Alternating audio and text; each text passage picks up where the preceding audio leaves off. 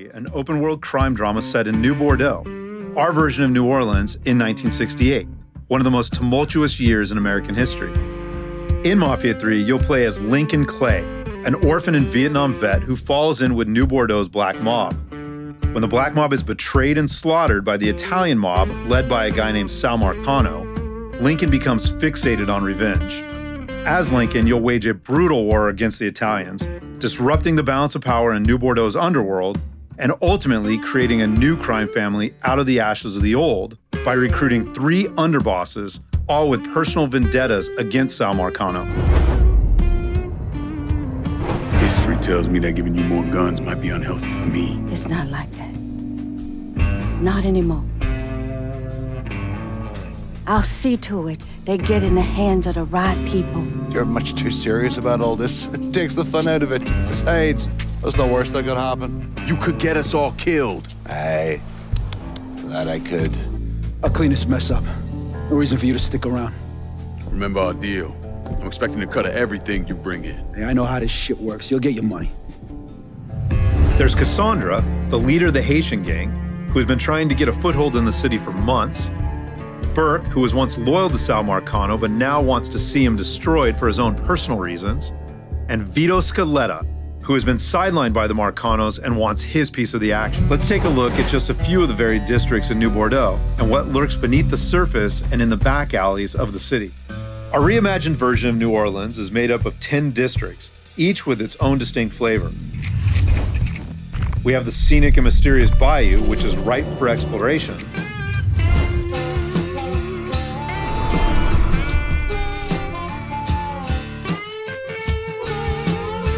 But is also where the Italian mob and their allies run guns and produce moonshine.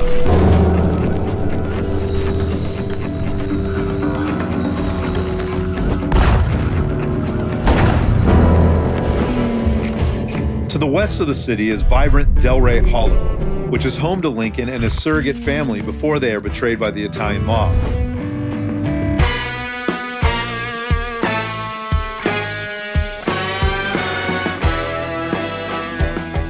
Eventually, the Hollow is taken over by the Dixie mob, who kick up to the Italians and use the neighborhood as the base of operations for heroin and sex rings. To the north of the city is majestic Frisco Fields with its manicured lawns and mansions.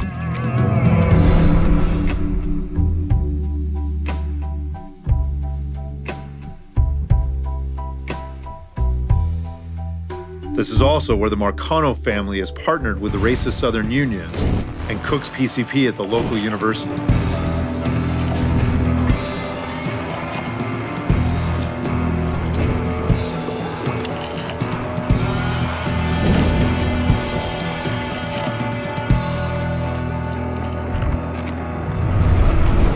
And of course, in the center of the city is the historic French Ward, a constant party run by Sal Marcano's brother, known around town as Uncle Lou.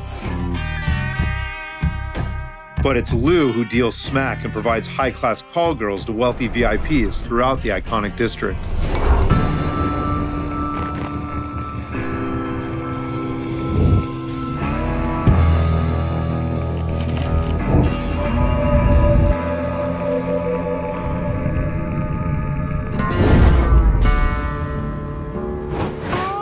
Lou's operation is Lincoln's focus right now, as capturing the French ward for his own underbosses will strike a major blow against the Italian mob.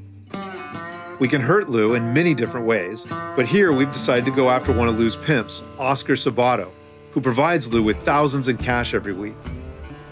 Before we go after Oscar and his crew, we'll want to resupply, and we can do this by calling in our weapons dealer, an associate who has been introduced to us by Cassandra. Once the mobile store arrives, we can pick out the gear that will best suit our playstyle. As with most of the encounters in Mafia 3, Oscar and his crew can be taken on in many different ways. We can go in guns blazing, we can take a stealthier approach, we can even call in reinforcements. It's really all up to the player. But in this playthrough, we've decided to use my favorite approach, which is going in a little quiet to kill Oscar and then fighting our way out.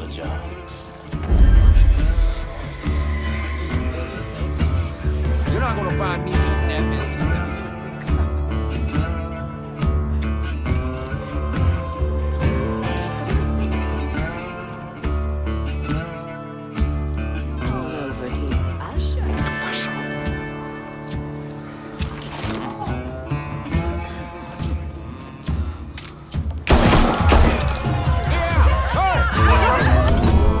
so we've killed Oscar Sabato, which is a major blow to Lou's cash flow, and will eventually put him into hot water with his brother Sal. But now we need to get the hell out of here. You see that fucker?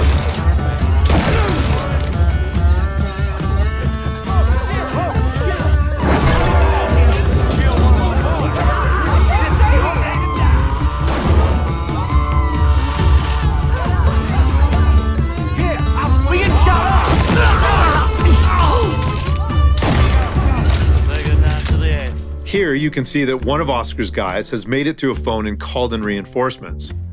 Fortunately, the player can call in a favor of his own from Vito, muscle to bust some heads. I need Vito shooters near the ward.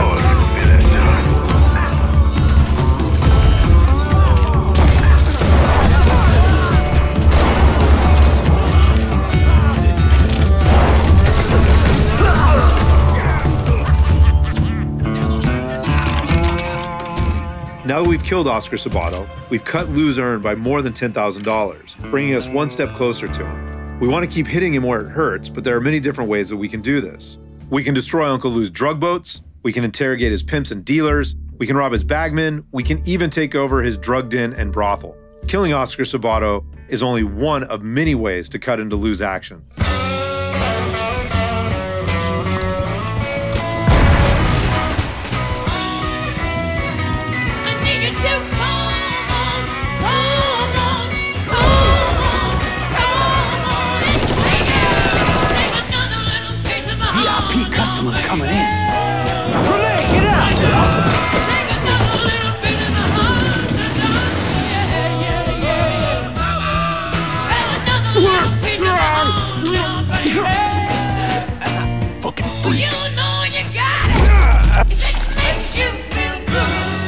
Once Lincoln throttles Lou's ability to kick up to Sal, Lou trips up. In order to get back into Sal's good graces, Lou arranges a fundraiser for a crooked politician aboard one of his riverboats. Lincoln learns about this and sees an opportunity to kill Lou, one of Sal's most valuable capos.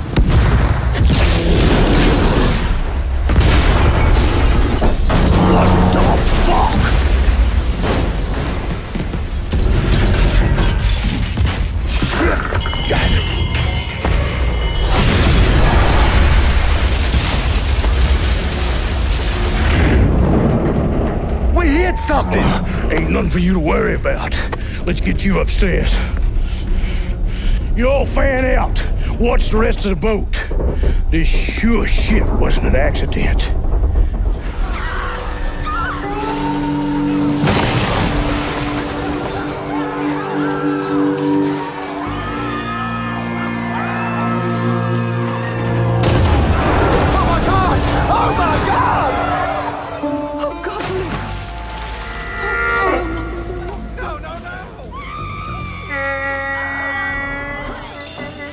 If I could get your attention, please. I think we're tilted a little.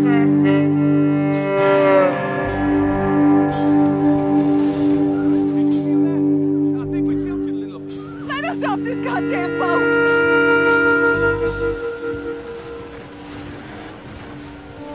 Please, just let us go. If I could get your attention, please. You gonna tell us what's going on out there? There was a collision. We don't know the extent of the damage to the ship, but When are you going to let us off this goddamn boat? but my crew is looking into it. If you could just stay right here in the casino, I'll have updates for you shortly. Thank you. The crew will provide instructions on how to make an orderly.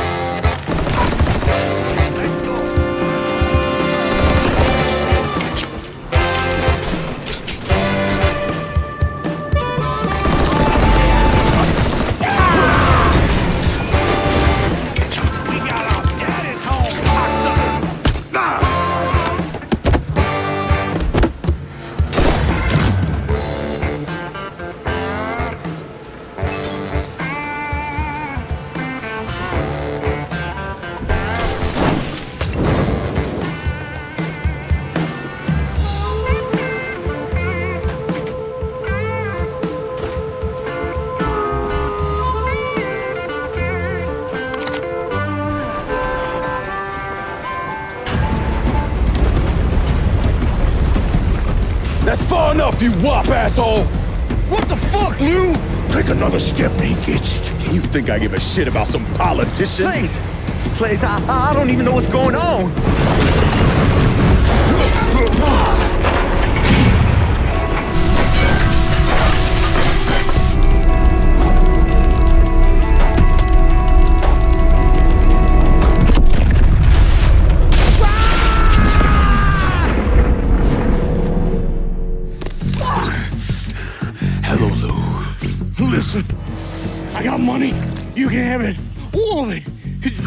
kill me.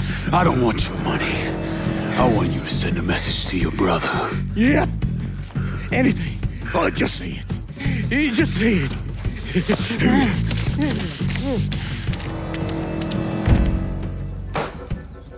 Lord Almighty.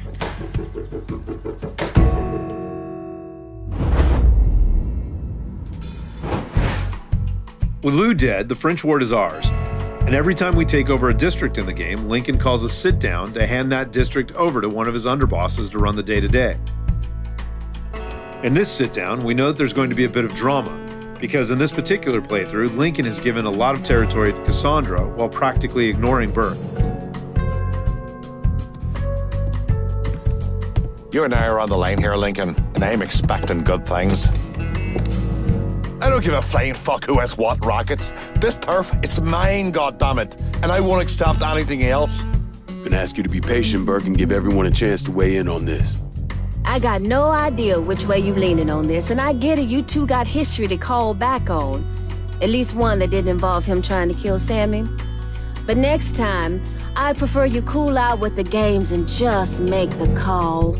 Sorry Burke's all riled up. I know that's a fucking pain in the ass, but splitting this district up like you did just makes things worse. You gotta make a hard call here. And I hope it goes my way. Do right by me, or there'll be hell to pay, Chalky. Trust ain't something that comes easy to me, kid. But I wish it did. You give this to me, Marcano's gonna shit himself.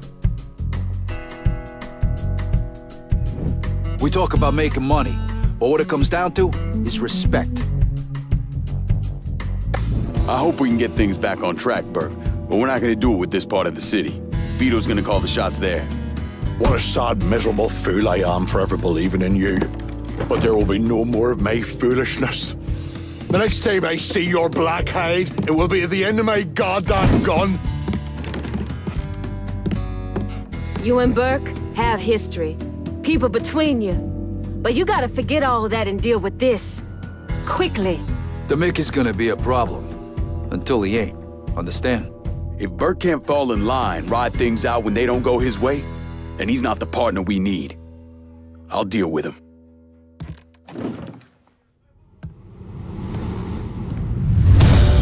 What you're about to see won't happen for every player, but because of the choices we've made in this playthrough, Burke has decided to betray Lincoln, forcing Lincoln to confront him on his home turf.